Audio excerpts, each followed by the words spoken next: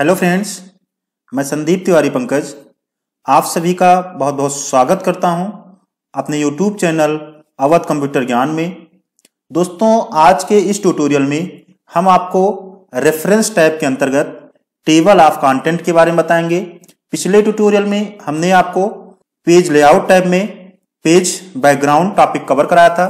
अगर आप उस वीडियो को देखना चाहते हैं तो ऊपर आई बटन पर क्लिक करके पेज बैकग्राउंड सेक्शन को कवर कर सकते हैं। तो चलिए आज के इस ट्यूटोरियल में हम टेबल ऑफ़ कंटेंट के बारे में जानते हैं। सबसे पहले हम एम एस वर्ड को ओपन कर लेते हैं।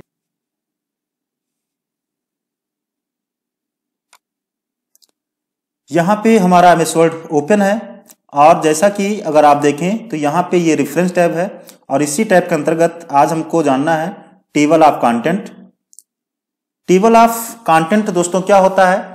ये आपके बुक में आपने देखा होगा, विषय सूची जो होती है, वही टेबल ऑफ़ कंटेंट होता है, जहाँ पे आपके बुक में जो भी आपका टॉपिक होता है, जो भी आपका हेडिंग होता है, जो भी आपका लेसन होता है, वो आपको टेबल ऑफ़ कंटेंट में दिखाया जाता है कि ये हेडिंग ये आपका लेसन किस नंबर पेज पर मिलेगा।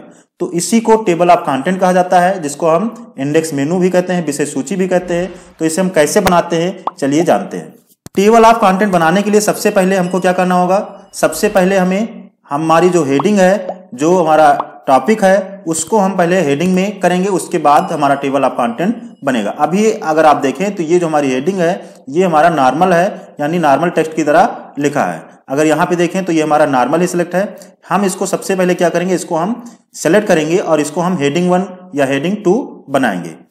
तो हम इसको कर लेते हैं हेडिंग वन हेडिंग वन का मतलब हुआ जो आपकी मेन हेडिंग है, वो हेडिंग वन में होगी। जो आपकी दूसरी हेडिंग यानी आपका सब हेडिंग है, उसको आप हेडिंग टू में कर सकते हैं। तो यहाँ पे हमने हेडिंग वन में कर दिया है। ऐसे ही हम और भी आगे सेलेक्ट कर लेते हैं। इसको भी हम हेडिंग वन कर देते हैं। इसको चलिए हम हेडिंग टू में कर देते हैं। ये हमारा डेमो है। हम केवल आपको समझाने के लिए बता रहे हैं। हेडिंग वन हेडिंग टू आप अपने हिसाब से जैसा आपका टेक्स्ट हो, जैसे आपकी हेडिंग हो, आप अपने हिसाब से उसमें हेडिंग वन हेडिंग टू कर सकते हैं। इसको हम हेडिंग वन ही कर देते हैं। यहाँ पे हम इसे हेडिंग टू कर देंगे। इसको भी हम हेडिंग टू में कर देते हैं। ऐसे हम पहले हेडिंग बनाएँगे।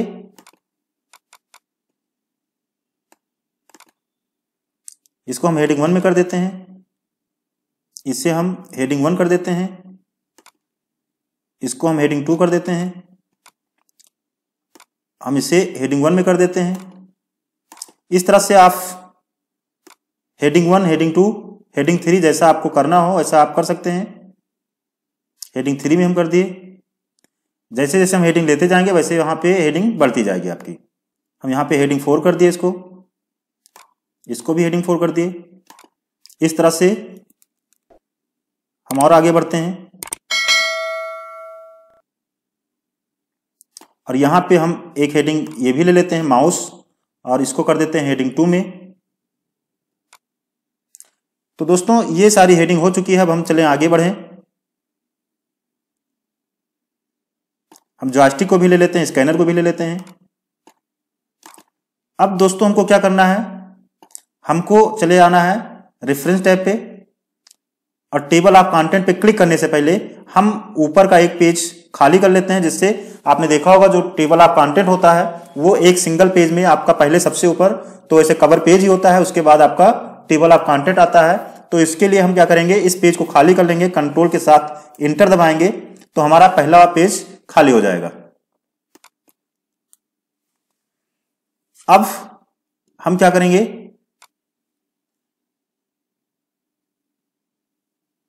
यहाँ पे हमको टेबल ऑफ़ कंटेंट इंस्टॉल कराना है। टेबल ऑफ़ कंटेंट पे क्लिक करेंगे और यहाँ पे चाहे इस पे क्लिक कर लीजिए या आप इंसर्ट टेबल ऑफ़ कंटेंट पे क्लिक कर दीजिए और ओके करेंगे तो आप देखें यहाँ पे हमारा जो टेबल ऑफ़ कंटेंट वो आ चुका है। हमारा टेबल ऑफ़ कंटेंट बन चुका है और यहाँ पे अगर आप देखें तो यहाँ पे पेज नंबर भी है कि ये हेडिंग आपकी किस नंबर पेज पर है। ये आप यहाँ देख सकते हैं। जिस हेडिंग पे आपको जानना हो, जिस हेडिंग को पढ़ना हो, आपको क्या करना है? कंट्रोल के साथ क्लिक करना है। आप मान लीजिए जनरेशन आप कंप्यूटर को पढ़ना चाहते हैं कंट्रोल के साथ क्लिक करिए, आप डायरेक्टली वहाँ पे पहुँच जाएँगे। आप डिफिनीशन आप कंप्यूटर पे जाना चाहते हैं कंट्रोल के साथ क्लिक करिए डिफिनीशन आप कंप्यूटर पे पहुँच जाएँगे। तो ये हमारा इंडेक्स मेनू होता है। ये इससे हमको आसानी होती है देखने में कि हम जो है, किस पेज पे हमको क्या पढ़ना है, हम यहीं से देखकर और उस नंबर पेज पे पहुँच जाते हैं। अगर प्रिंटेड बुक है तो वहाँ पे हम हेडिंग को देखकर और उस नंबर पेज पे जाते हैं, पढ़ते हैं और यहाँ अगर आपका जो सॉफ्ट कॉपी है, यहाँ पे हम डायरेक्टली वहाँ पे क्लिक करके पहुँच सकते हैं। अब इसमें अगर आपको कोई टेक्स्ट जोड़ना हुआ, जैसे कि हम मान लीजिए,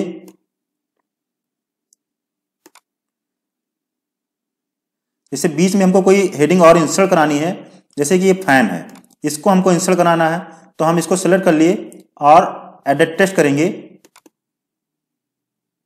Level one level one level two किसी भी तरह से तो ये भी हमारा यहाँ पे इंसर्ट हो गया। अब यहाँ पे कंपोनेंट ऑफ़ मदरबोर्ड आप, अगर आप देखें तो यहाँ पे कंपोनेंट ऑफ़ मदरबोर्ड है, लेकिन उसके आगे अपडेट नहीं हुआ है। तो अपडेट करने के लिए हमको क्या करना होगा दोस्तों? हमको अपडेट टेबल पे क्लिक करना है। आप देखेंगे टेबल ऑफ़ कंटेंट के नीचे अपडेट इंटायर टेबल पे क्लिक करेंगे, और देखिए वो भी हेडिंग यहाँ पे ऐड हो चुकी है।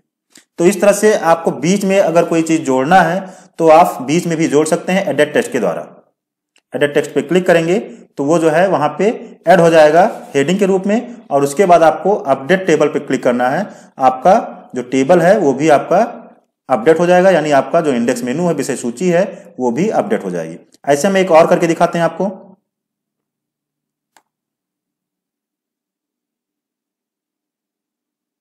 जैसे यहाँ पे बीच में ही हम देखते हैं, यहाँ पे लास्ट में नहीं करेंगे हम। हम राइट बटन लेफ़्ट बटन को यहाँ पे जोड़ना चाहें माउस में, हम इसको सेलेक्ट कर लिए।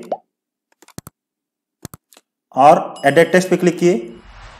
लेवल टू या लेवल थ्री में लेवल टू में ही हम इंसर्ट कराते हैं। ये हमारा हो गया।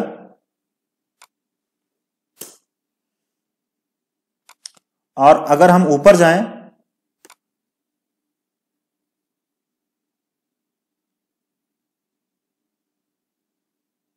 तो यहाँ पे अभी हमारा अपडेट नहीं हुआ है।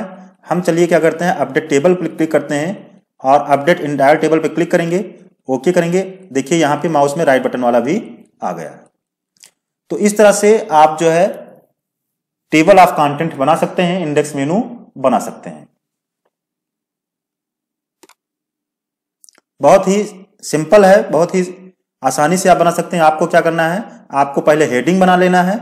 आप अपने टेस्ट को, हेडिंग को सिलेक्ट करके आपको heading one, heading two, heading three जैसा आपकी हेडिंग है, वैसा आप सिलेक्ट करके उसको हेडिंग में कर दीजिए। उसके बाद आपको रेफरेंस टैब में आना है टेबल ऑफ़ कंटेंट पे आना है और अपना पेज जहाँ पे आप इसको चाहते हैं, वहाँ पे अपना कर्जा रखिए पहले पेज पर और किसी एक पर क्लिक कर दीजिए या इंसर्ट टेबल पे क्लिक कर दीजिए इंसर्ट हो जाएगा। आपको नहीं चाहिए हटाना है तो आप टेबल ऑफ़ कंटेंट पे क्लिक कर दीजिए, लेकिन उसके पहले हमारा कर्जर जो है, वो टेबल ऑफ़ कंटेंट पे होना चाहिए, और यहाँ पे आके हम रिमूव टेबल कंटेंट पे क्लिक करेंगे तो रिमूव हो जाएगा। हम पुनः इस पर क्लिक करें इंसर्ट टेबल ऑफ़ कंटेंट पे क्लिक करें तो ये आ भी जाएगा।